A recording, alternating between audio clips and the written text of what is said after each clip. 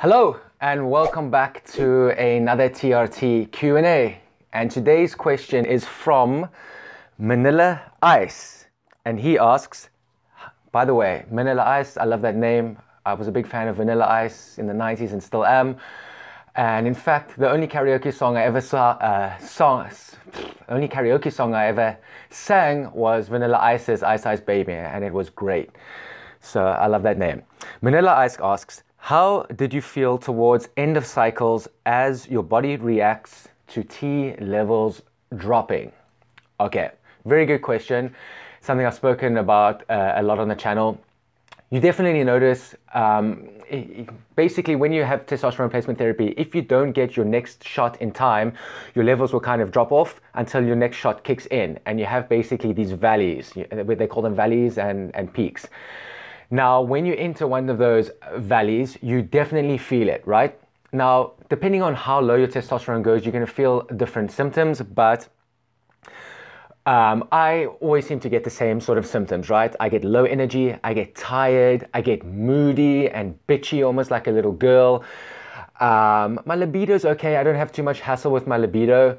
Um, I definitely feel it at the gym, especially if I'm lifting heavy weights, like on the squats and the deadlifts. I usually stagnate and I can't push any further, or sometimes I'll even slide back, you know, maybe 5% or so on my lifts. So you definitely feel it. Um, my testosterone level normally gets to the mid range when I'm on testosterone and to the low end of the range when it starts to wear off. So um, I get moody. Um, I get very irritable. Um, but I know these things are coming, especially you know if you self-administer or you know when your next shot's going to be, and you know there's a dip coming up. You can prepare mentally for it, right? After I've mentioned this in a video before, I have a couple of things that I go through when I know I'm going to go through a dip. I try to just keep my sort of mindset in check. I do a few things like a bit of extra meditation and that, just because I know there's a bit of a shit period ahead. But it's not too bad. It's not like you full on depression or anything like that, at least not for me.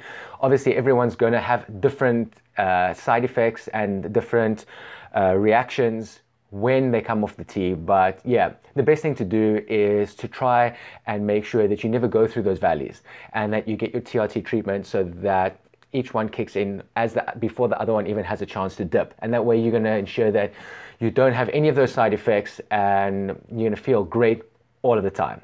So I hope that answers your question. Thank you for the question. If anyone else has questions about TRT or my experiences with TRT, just leave a question in the comment section below and I'll answer it in another TRT Q&A like this. Thank you. Adios.